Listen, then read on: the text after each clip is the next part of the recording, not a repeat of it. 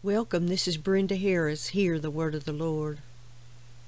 I, the Lord God, say, I am known by my justice.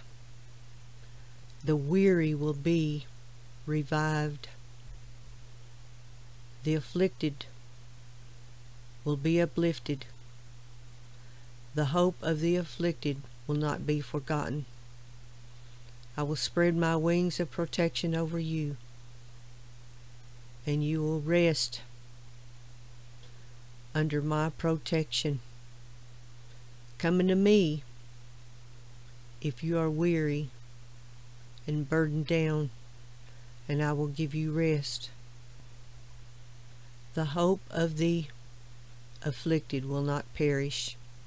This is the word of the Lord.